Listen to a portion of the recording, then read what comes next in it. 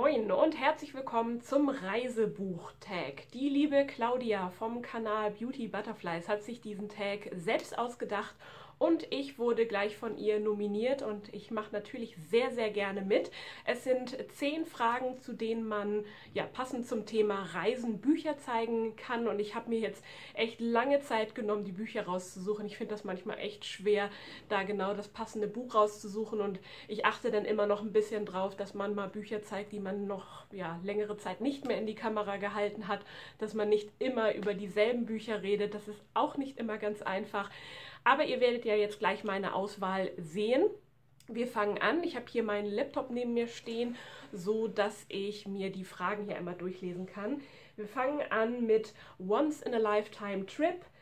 Die Reise deines Lebens. Welches Buch hat dich nachhaltig berührt? An welches Buch musst du immer wieder denken?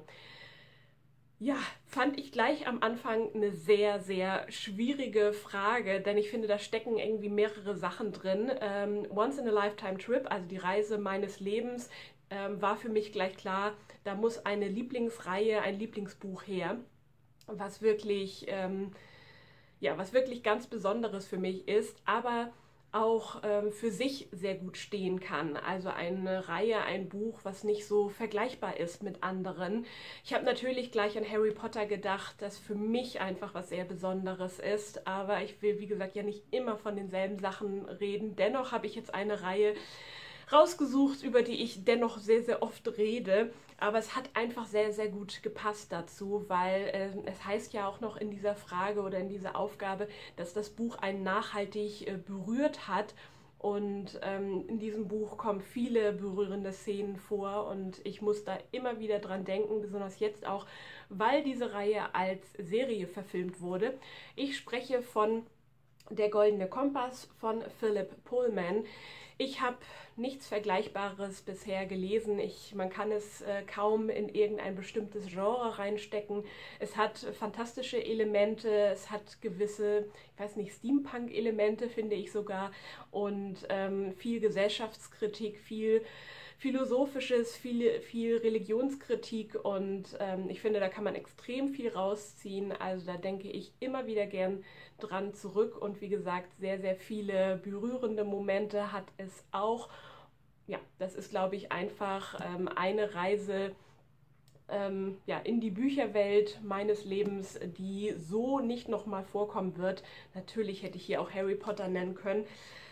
Zum Inhalt möchte ich jetzt aber nichts mehr sagen, weil ich finde eh immer sehr, sehr schwer, ähm, diese Reihe zusammenzufassen, diese Reihe zu erklären. Und ich habe in letzter Zeit, finde ich, sehr viel darüber gesprochen.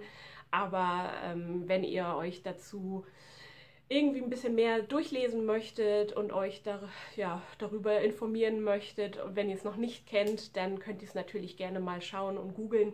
Äh, es läuft, wie gesagt, gerade eine ähm, Serie, eine Verfilmung auf Sky. Ich, mir fehlen jetzt noch die letzten zwei Folgen und ja, weil ich ja den Film sehr, sehr grottig fand, ähm, war ich sehr gespannt, wie sie das jetzt als Serie umsetzen. Ja, es ist auf jeden Fall ganz anders geworden als der Film. Ja, aber das dazu zur ersten Frage. Wir machen weiter mit der zweiten Aufgabe Völkerverständigung. Zeige ein Buch von einem Autor, der weder auf Deutsch noch auf Englisch im Original geschrieben hat. Das war schön, weil es nicht so viel Auswahl gab in meinem Bücherregal und ähm, deswegen habe ich mich für noch ein Lieblingsbuch entschieden, was ich längere Zeit nicht mehr in die Kamera gehalten habe und deswegen das jetzt sehr, sehr gerne tue. Und zwar ist das Anton hat kein Glück von Lars Vasa Johansson und der Autor ist Schwede. Schreibt also im Original auch auf Schwedisch und ähm, hierbei handelt es sich um eine Geschichte über einen Berufszauberer namens Anton, der ja mehr schlecht als recht über, über ja, sich über Wasser hält, immer in, in Schulen und in Altersheimen mal auftritt. Ist relativ zufrieden mit sich, wäre da nicht sein ähm, Jugendfreund, sein Kindheitsfreund und mittlerweile größter Konkurrent, der unglaublich erfolgreich ist, noch dazu mit seiner, mit seinem größten Schwarm von damals, mit seiner Liebe, mit seiner Teenie-Liebe durchgebrannt ist und die haben jetzt halt so eine riesige Zaubershow.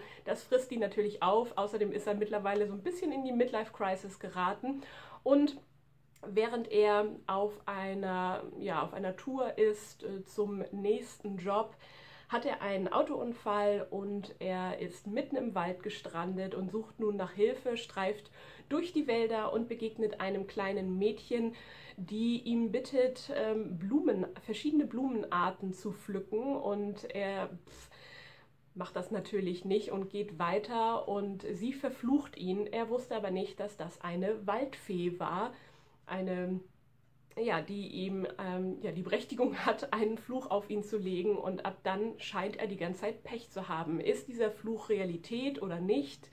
Ähm, und er hat noch weitere Abenteuer in diesem Wald und es ist ähm, sehr komisch, hat aber auch was Berührendes, weil wir immer wieder in seine Vergangenheit springen aus der Kindheit, warum er überhaupt diese Zauberleidenschaft ähm, gewonnen hat und wie das mit dieser Freundschaft zu seinem mittlerweile Rivalen äh, verlaufen ist. Und ja, also mir hat das sehr viel Spaß gemacht und ich werde da sicherlich irgendwann wieder ähm, zurückkehren und da freue ich mich auf jeden Fall drauf.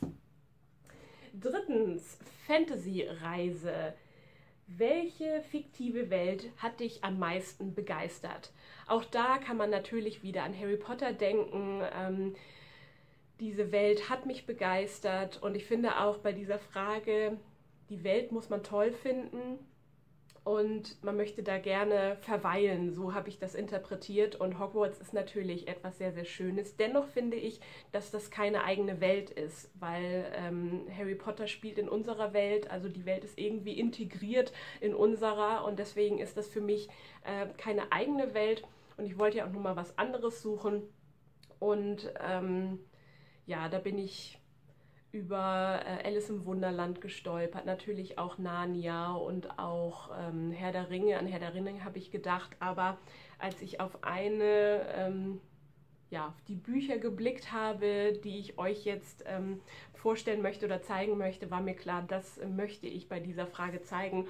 Und zwar ist das ähm, hier stellvertretend die 13,5 Leben des Captain Blaubeer von Walter Mörs.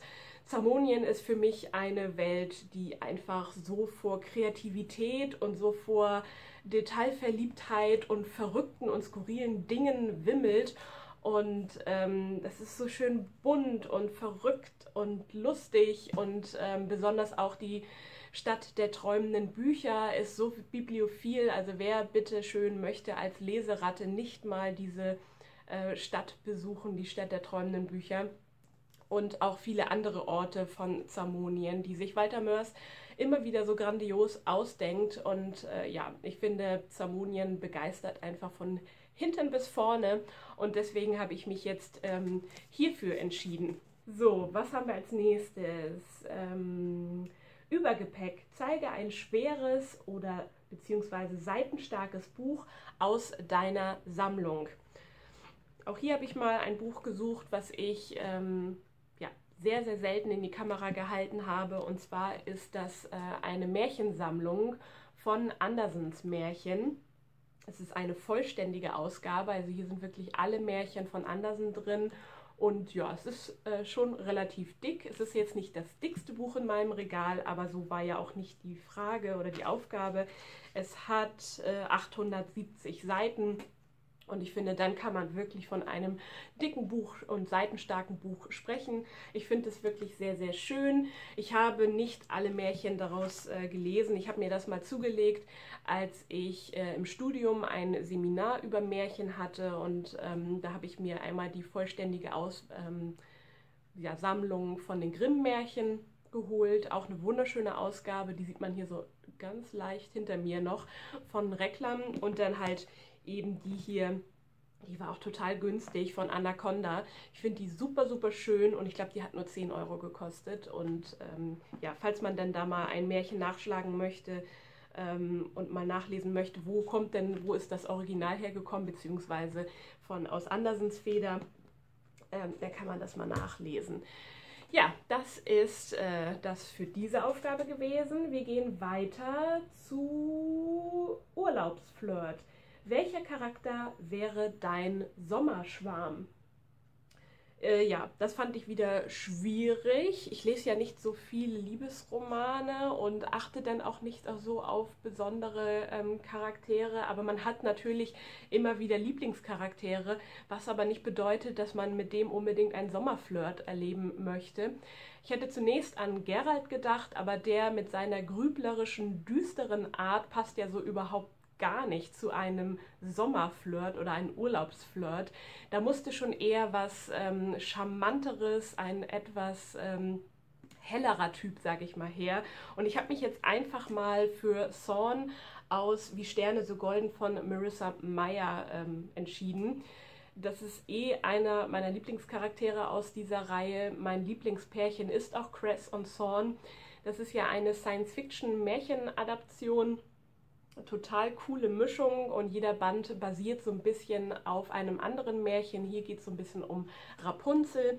Und äh, ja, Thorn ist ähm, ein Raumschiffpilot und er ist so ein richtiger Draufgänger und so ein Sprücheklopfer und so richtig steckt aber nicht viel dahinter und ähm, ich weiß nicht, ob ich es länger als einen Urlaub mit ihm aushalten würde, aber er ist auf jeden Fall charmant, er ist lustig und wenn man so ein bisschen hinter diese ähm, ja, Draufgänger, Sprücheklopfer, Schale kommt, dann ist er auch ein wirklich sehr sympathischer ähm, Typ und ja, ich glaube, da, mit dem kann man auf jeden Fall nette zwei Wochen äh, verbringen und sich ein bisschen amüsieren.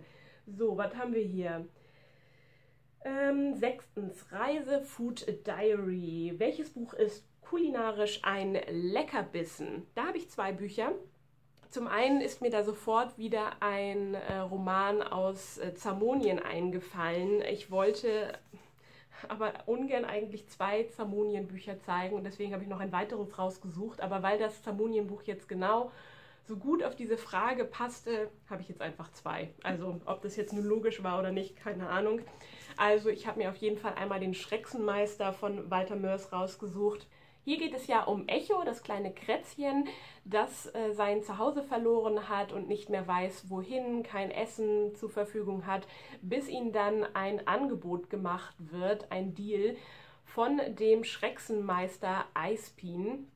Der sagt, er wird ihn jetzt äh, eine gewisse Zeit ähm, auf höchstem kulinarischen Niveau ähm, verköstigen, aber danach, nach diesem bestimmten Zeitraum, wird er ihm das Fell abziehen, weil er ja an sein Fett ran möchte für einen bestimmten äh, alchemistischen Trank. Ich weiß nicht mehr genau, was das war. Jedenfalls ähm, ist das so cool beschrieben, was er ihnen da alles auftischt. Also äh, total abgefahrene Gerichte und ähm, ja, es hat richtig Spaß gemacht, das zu nachzuvollziehen. Und man würde manches gerne auch mal probieren, auch wenn manches ein bisschen abgedreht klingt, wie das so bei Walter Mörs dann manchmal auch so ist. Dieses Buch habe ich so Lust, wieder zu rereaden. Und das ist ja auch auf meiner, ja, auf meiner Want-to-Read-Liste oder meine Want-to-Reread-Liste für das Jahr 2020. So, und das zweite Buch, was ich euch für diese Aufgabe versprochen habe, ist Die Frauen der Rosenvilla von Theresa Simon.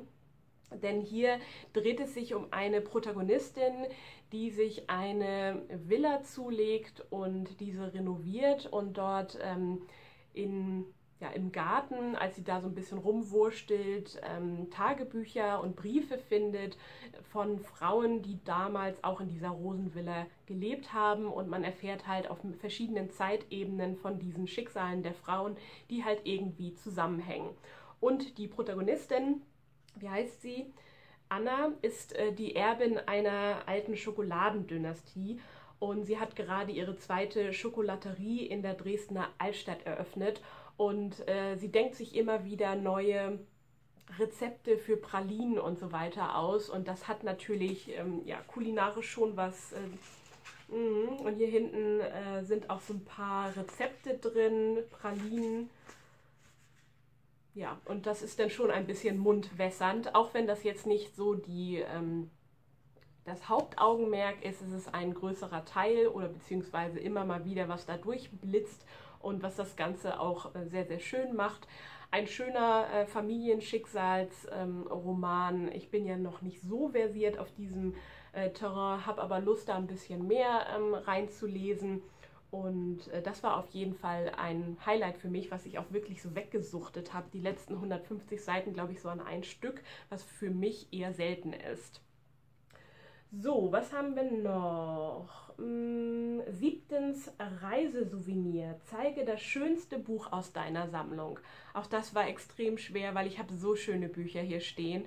Allerdings, wenn man die Bücher erstmal länger im Besitz hat, dann merkt man, ja, ich weiß nicht, dann verfliegt das so, dieses Wow, dieser Wow-Effekt. Man muss dann ab und zu mal wieder so ein bisschen ähm, ja, den Blickwinkel ändern, damit man die Schönheit noch ein bisschen mehr ähm, ja, zu schätzen weiß. Aber bei manchen Büchern ist es auch so, die stehen lange Zeit immer zum, mit dem Rücken zu mir und irgendwann zieht man mal die aus dem Regal und denkt, wow, das ist wirklich unglaublich schön. Ich habe jetzt aber eine Schmuckausgabe ausgesucht, die ich einfach innen sowie außen wunderschön finde. Und zwar diese wunderschöne Alice im Wunderland Ausgabe von Lewis Carroll und illustriert von Benjamin Lacombe aus dem Jacobi und Stuart Verlag. Da gibt es einmal den ersten Teil, Alice äh, im Wunderland und Alice hinter den Spiegeln. Es ist leinengebunden, es hat äh, Goldprägung und ja, finde diese wunderschönen Ranken und dann gibt es hier auch noch so goldene Punkt, Pünktchen. Also es ist etwas anfällig für... Ähm, ah nee, doch nicht. Ich dachte, das wären jetzt hier Fingerabdrücke. Nein, das ist auch nochmal äh, verschnörkelt. Ja, und es ist innen natürlich auch total schön aufgemacht äh, mit vielen Illustrationen. Könnten ein bisschen mehr sein für meinen Geschmack. Aber ähm, ja, Benjamin Lacombe habe ich ja euch schon im, in meiner letzten Rezension vorgeschwärmt, ist ein wirklich toller Illustrator. So, ähm, Reise in die Zukunft ist die achte Aufgabe welches Buch möchtest du unbedingt noch lesen? Ja, Claudia, was ist das denn für eine Frage? Natürlich alle Bücher von meinem Sub und alle Bücher von meiner Wunschliste und natürlich noch einige mehr. Ähm, da konnte ich einfach blind in meinen Sub reingreifen, aber ich habe mich jetzt einfach mal für ein Buch entschieden, was ich unglaublich gerne lesen möchte, aber was ihr in nächster Zeit wahrscheinlich nicht in meinen Lesemonaten sehen werdet, weil noch einiges vorher gelesen werden muss. Und zwar habe ich jetzt hier einen High-Fantasy-Titel ausgesucht, ähm, auf den ich wirklich Lust habe und in den ich viel Hoffnung setze. Kinder des Nebels, die Nebelgeborenen, Teil 1 von Brandon Sanderson in dieser schönen neuen Auflage. Ja, ich wurde ja viel enttäuscht in den letzten Jahren von High Fantasy und bin immer wieder auf der Suche nach äh, besonderen Welten, besonders tollen Magiesystemen und äh, Figuren, die mich catchen, wo einfach das Gesamtpaket passt. Und ähm, hier hoffe ich, dass alles zusammenkommt. Gerade von Brandon Sanderson sagt man ja, dass er ähm, toll im Worldbuilding ist und wirklich auch ein tolles Magiesystem schafft. Eine sehr gute Freundin hat davon sehr geschwärmt, aber ich höre auch andere davon schwärmen. Und gerade als High-Fantasy-Liebhaber finde ich, ist diese Reihe irgendwo ein Muss. Aber bevor ich dazu greife, möchte ich andere High-Fantasy-Reihen erstmal beenden. Da habe ich einmal meinen geliebten Dämonenzyklus, den ich ja endlich dieses Jahr beenden möchte. Da fehlen mir eben noch zwei Bände. Und dann habe ich noch Nevernight von Jay Christoph, das ich auch erstmal beenden möchte. Da fehlen mir eben auch noch zwei Bände, aber ja, ich würde schon gerne dieses Buch hier dieses Jahr noch beginnen und ähm, es juckt mir in den Fingern, aber es wird in den nächsten Monaten, glaube ich, erstmal ähm, noch nicht dran glauben, weil da eben vorher noch einiges anderes ähm, vorgezogen wird. Mm, neuntens ist die Touristenfalle. Welches Buch hat sich nicht gelohnt zu lesen? Da zeige ich euch jetzt kein Buch in die Kamera, weil das nicht mehr da ist. Mir fallen da so einige Bücher aus meiner Schulzeit ein, wo ich mir denke, daraus habe ich gar nichts hervorgenommen. Mag vielleicht auch an der Einstellung liegen, dass man oder ja an der Art und Weise, dass man dieses Buch lesen musste. Aber ich habe jetzt einfach mir herausgepickt, der alte Mann und das Meer von Hemingway. obwohl das nur 110 Seiten oder so hat, war das für mich eine Qual, das zu lesen. Ich habe das in der Ausbildung, in meiner Buchhändlerausbildung gelesen und äh, fand das total Banane, total öde und ich konnte wirklich nichts draus ziehen. Deswegen ähm, ja, nenne ich es hier. Für andere mag es ein totaler ähm, Klassiker sein. Also es gilt ja auch als Klassiker und Hemingway als ähm, Autor von Klassikern, aber für mich war es nichts. Ich konnte damit nichts anfangen, aber wie immer ist es, äh, möchte ich keine Empfehlungen geben, weil ähm, was für den einen ein Flop ist, ist für den anderen ein Top und ähm, deswegen, ich finde das gut, dass andere das schön finden und toll finden und dass es so viele verschiedene Geschmäcker gibt. Deswegen ähm, ja, würde ich kein Buch jetzt irgendwie so sehr verteufeln, aber für mich war das nichts. So. Zehntens, zu Hause ist es am schönsten. Welches Buch spielt in Deutschland? Das ist die letzte Frage. Hier hatte ich auch einiges zur Auswahl. Ich lese jetzt zum Beispiel gerade ähm, den dritten Teil der Schatten der Hexen. Reihe spielt ja im Harz, ist so ein Hexen-Krimi, Mystery, Dings. das hätte man gut zeigen können, aber da ich das dann ja wahrscheinlich im Lesemonat euch zeigen werde, dachte ich, nehme ich irgendwie mal wieder ein anderes Buch. Und ich bin auf Schwarze Tränen von Thomas Finn gestoßen, auch wenn das ähm, auch Mystery und fantastische Elemente drin hat. Ähm, spielt es dennoch in einer äh, realen Stadt in Deutschland und zwar ist das Staufen in Baden-Württemberg liegt das, glaube ich.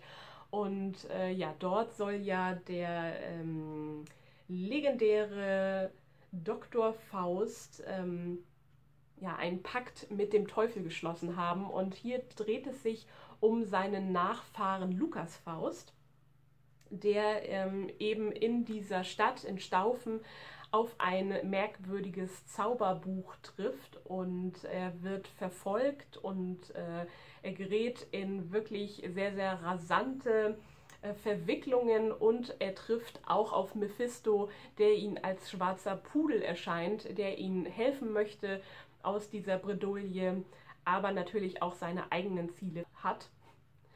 Und äh, ja, das Ganze ist sehr rasant, es ist sehr schwarzhumorig, es hatte was von Indiana Jones, was Mystisches, was Geheimnisvolles und es stecken sehr, sehr viele Mythen und Sagen hier drin, was mir großen Spaß gemacht hat und auch darauf hätte ich mal wieder Lust, es ähm, nachzuholen. Thomas Finn ist ja eh ein Autor, der ähm, wirklich für mich schon als äh, Lieblingsautor gelten könnte. Das war, glaube ich, sein erstes Buch, was ich von ihm entdeckt habe. Und ähm, dieses Jahr erscheint ja wieder ein neues Buch von ihm, glaube ich, wieder ein Horror-Thriller. Und das ist ja das Genre, was ich von ihm am liebsten lese. Das ist jetzt eher so eine Mischung ähm, aus Fantastik und ähm, Thriller-Elementen. Ich weiß nicht, wie man das nennen mag. Abenteuer auf jeden Fall auch. Wie gesagt, Indiana Jones. Und kann ich äh, allen sehr empfehlen, die äh, diese Mischung ansprechend finden. Ja, das war der Reisebuchtag von der lieben Claudia. Guckt auf jeden Fall bei ihr vorbei ähm, in ihrem Originalvideo. Sie hat auch ganz tolle Bücher gezeigt. Ich möchte natürlich jetzt auch ein paar Leute taggen, obwohl ich gar nicht mehr genau weiß, wen sie getaggt hat und äh, wen nicht. Ich tagge jetzt einfach mal die liebe Steffi vom Kanal Seitengeist die liebe Melanie liest, die liebe Jenny vom Jennys Lesestoff, die liebe Julia vom Kanal Leseritter, die liebe Jackie vom Kanal Bibliomanie, wenn sie das sieht. Ähm, wen noch? Wen noch?